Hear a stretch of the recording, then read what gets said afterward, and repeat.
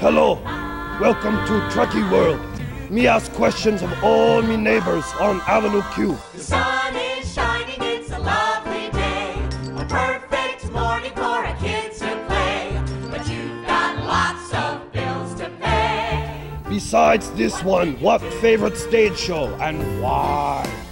And personally, I've always uh, shared a great affinity uh, w- w- for the, the, the musical The Drowsy Chaperone. I don't know if you've heard of it, Nicky. No. Bare, a pop opera. Well, there's this character, the man in chair. Uh, I've just always seen a lot of myself in him. I, I don't know why. Well, I'll never forget when I was eight and my parents took me to see Les Mis. It, uh, uh, it had a deep impact on me, uh, like many people of my generation. Did they make a musical of Showgirls? You remember that? I br- Oh, you had a little bit too much to drink that night. Well, I don't follow a lot of musical theater. Although I did go to one community theater performance that Rod was in. Uh, he drove me to it. Oh, It was uh, Man of La Mancha. He played Don Quixote. I've never seen another stage show. I thought he was quite good because uh, he he was this guy who was pretending all these things that weren't really real, but uh, it was very, uh, it was very good.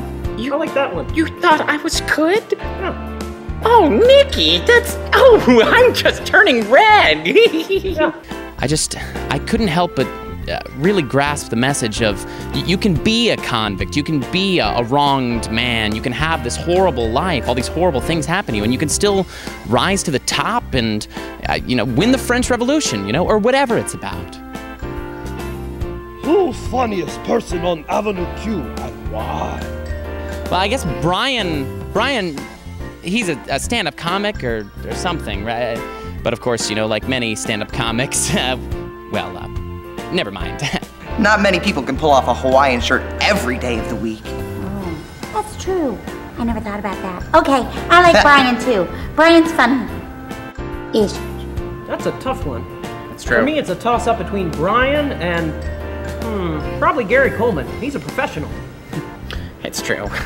Why the f would I care? Christmas Eve.